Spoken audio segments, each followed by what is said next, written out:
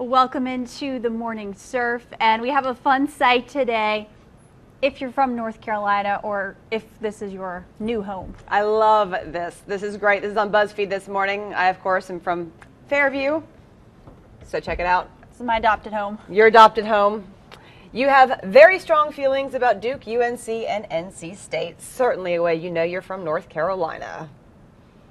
I'm going to have to go with UNC there. You know that Cheerwine is not actually wine, but one of the greatest carbonated beverages ever. It's pretty delicious. It is, of course, from here.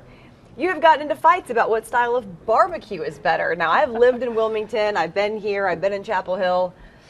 I don't know, I do love some Eastern barbecue. Oh, you're gonna make some people mad this morning. I know, well, I've lived all over the state too, so it's okay. It's okay.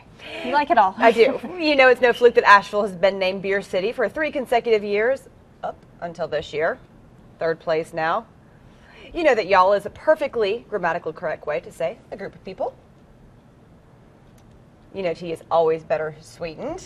Love our sweet tea. You have a favorite NASCAR driver, obviously Charlotte Motor Speedway. This one, so many people, especially in our area, believe you would happily live off of Bojangles biscuits. My sister is addicted to Bojangles biscuits. They're so good. You know the proper pronunciation of Appalachian. It's so funny when that comes across the news sometimes, and you hear someone read it wrong. Appalachian Trail. Yeah.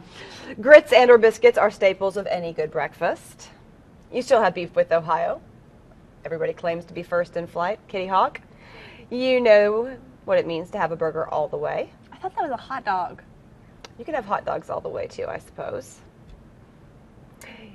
You know that every holiday has to have greens. And this one, you are a closet leaf looker. And finally, Julie, I'm going to end it I on this one this personal morning. offense to this one because I have one of these in my garage. Seeing a Florida license plate drives you into fits of oh. rage. Oh. Oh, I've been here almost 10 years, though. Does that count? We love all of the Florida implants that have come to the area. Implants. Implants come here to hang out. We appreciate that. I like having you here. At what point? I've been here for 10 years, so at what point? Do you associate yourself as a Floridian or a North Carolinian? North Carolinian. All right, so you're good. Okay, all right. Well, Let's